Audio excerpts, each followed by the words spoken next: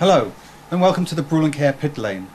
I'm here today with sound and vibration engineer Eric Seeler, and we're going to show you some of the NVH systems that we can use for measuring sound and vibration on a SuperKart 250. So Eric, tell us about the 250 SuperKart. Well, as you say, the 250 means that it has a 250cc engine uh, with 57 horsepower. It's got a sequential gearbox with uh, six gears in. It uh, transforms the power from the engine through a standard motorcycle chain to a stiff rear axle and it has absolutely no suspension.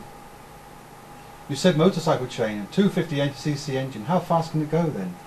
It goes from 0 to 100 kilometers an hour with Formula 1 performance in 2.5 seconds.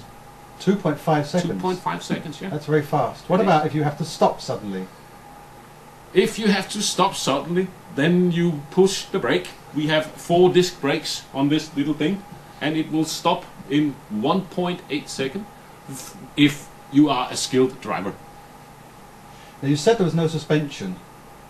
How do we set the car up to make sure that it's a, a fairly safe ride for the driver? He's sitting in a seat that is uh, fitting his body very tight, uh, and he is hanging on to the steering wheel, uh, and that's what you have. There are no seat belts. He just has to hang in there.